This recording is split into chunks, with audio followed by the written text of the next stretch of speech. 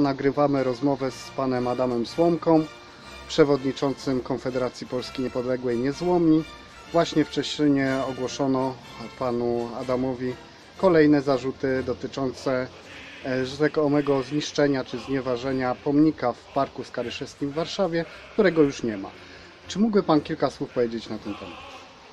No to jest zdumiewające, że w środku pandemii wysyła prokuratura w- Warszawie y, dwóch prokuratorów po całej Polsce zalecenie dla policji, żeby ścigać Słomkę, doprowadzić go w kajdankach i przedstawić mu zarzuty zniszczenia pomnika wdzięczności Armii Czerwonej w 2016 roku, przy czym godzi się zauważyć, że pomnik już nie istnieje, a czy autentycznie został zniszczony. Został zburzony zresztą buldożerami zgodnie z ustawą, bo ustawa mówiła, że wszystkie symbole totalitaryzmu należy zlikwidować.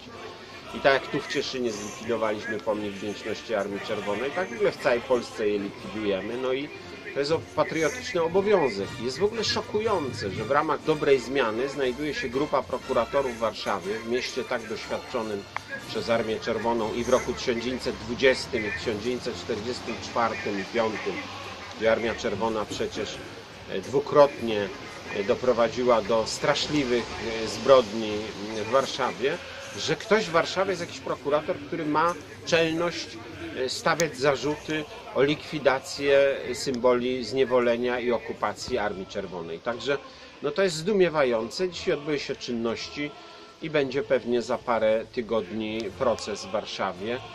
No, trzeba wezwać opinię publiczną, żeby przyjść, obejrzeć to towarzystwo. To jest w ogóle zdumiewające. Zdumiewające, że są policjanci, jest cała grupa policjantów, czterech policjantów na czele z niejakim Grzybem, którzy twierdzą, że trzeba bronić pomnika, dyżurowali przy tym pomniku całą noc. E, e, Z akt wynika, że policja miesięcznie wydawała 100, około 120 tysięcy złotych na ochronę pomnika przy pomocy radiowozów i policjantów.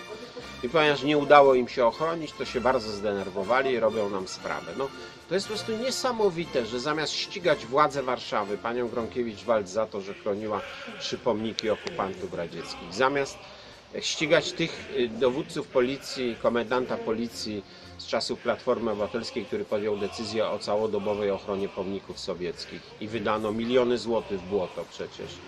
Zamiast ich ścigać, to się ściga patriotów, którzy walczą z, z, z ruskimi pomnikami. No jest to po prostu coś nieprawdopodobnego i wszystko się dzieje w sierpniu 2020 roku. Nie jest to historia z roku, ja byśmy takie pierwsze akcje i problemy mieli powiedzmy w roku 1981, 40 lat temu. To jeszcze można by zrozumieć, były realia PRL, prawda, bali się Moskwy, ale dzisiaj, no kogo ci prokuratorzy się boją i kogo reprezentują? E, Panie Adamie, e, a jakieś przesłanie dla pana ministra Ziobro, bo przecież za prokuraturę odpowiada pan minister. Czy powinien wyciągnąć jakieś konsekwencje wobec prokuratury, która marnuje środki publiczne na tego typu e, akcje? Znaczy moim zdaniem prokuratorzy, którzy są tu podpisani, jest co najmniej dwóch, którzy stawiają te zarzuty, choć trzeba akta obejrzeć dokładniej. Widać, że jest cała grupa w prokuraturze warszawskiej, która zajmuje się fałszywymi zarzutami wobec patriotów. To jest, przypominam, piąty nasz proces o pomniki radzieckie w Warszawie. Wszystkie je bez wyjątku prokuratura przegrała.